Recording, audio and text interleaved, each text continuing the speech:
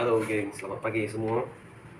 Oke ini pada pagi ini Saya nak masak kita punya daging Yang kita seprap semalam tuh Oke. Ini rupa dia. Oke, jom kita masak ya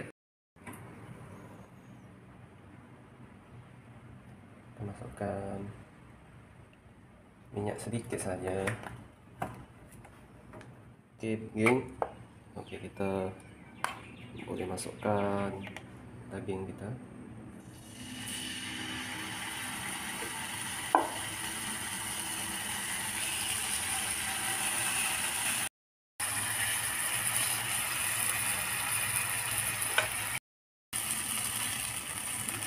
Kita boleh kebalikkan.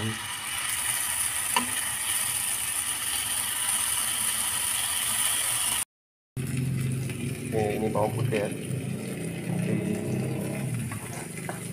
Boleh kita campurkan dekat mie kita. Untuk aroma yang lebih mantap.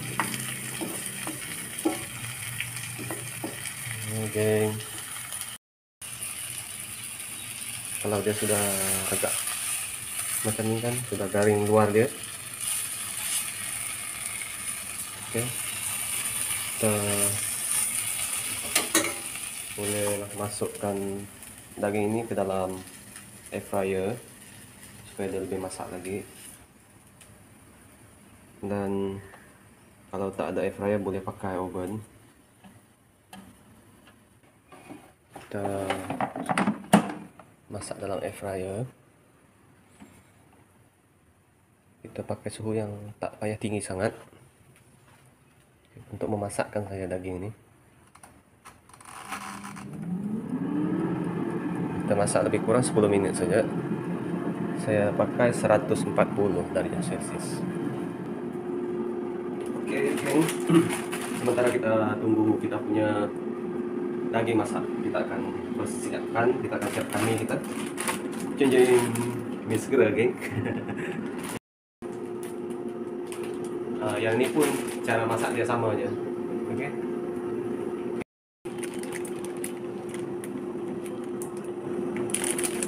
Oke.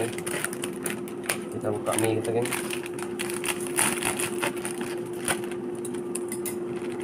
Kita tengoklah dalam dia nah, ini rupa dalamnya. Ini ada perisa sendiri lah perencah dia pun sekali. Senang aja kami yang ini yang original. Ini yang kicap. Oke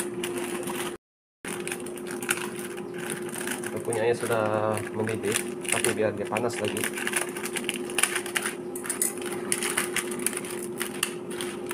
Oke ini dia punya perencah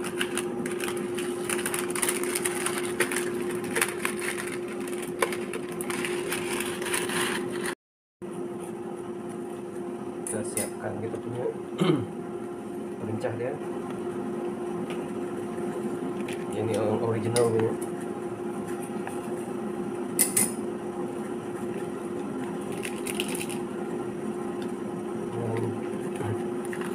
yang kicap punya.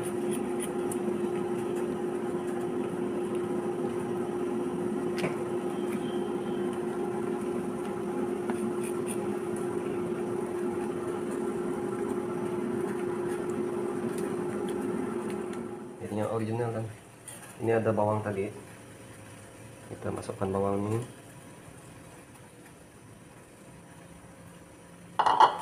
Pun sama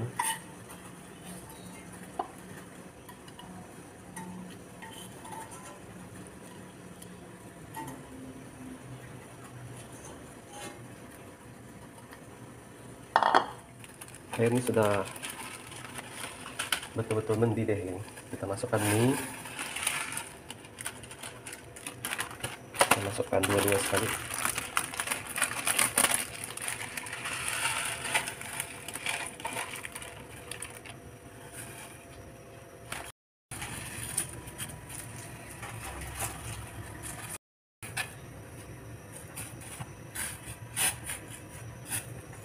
kita masak dia lebih kurang dalam 2 minit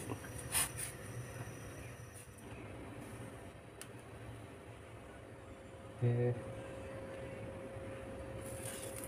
Masukkan ini kita ke dalam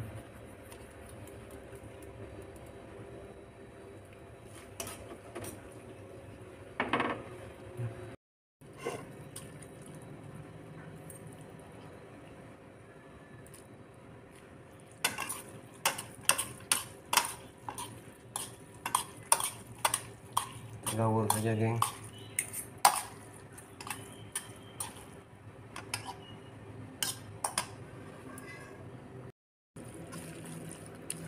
Ini yang kicap.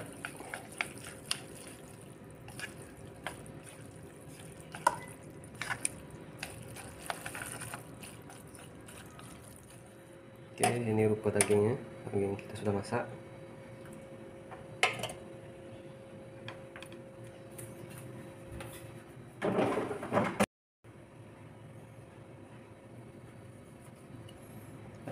potong-potongkan daging ini.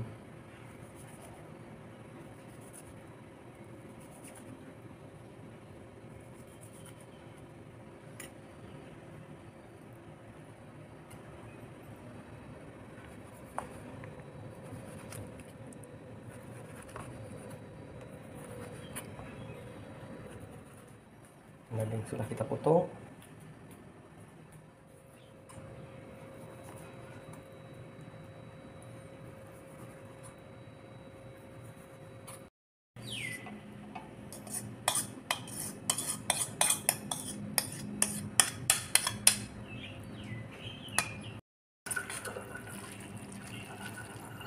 Oke geng, ini yang kecap, yang ini tadi yang original.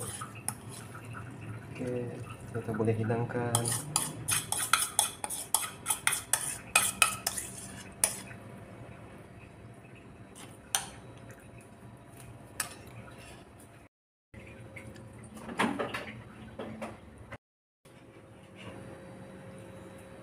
Oke geng, di sini ada dua jenis kompua, kompua sibu. Ini original, yang ini kicap. Oke. Nampak sangat menyelerakan bersama dengan daging merah kita. Daging merah yang sangat simpel yang saya perap semalam. Oke, geng. Anda boleh cobalah di rumah. Yang paling senang saja, oke? Oke, itu saja. Bye bye.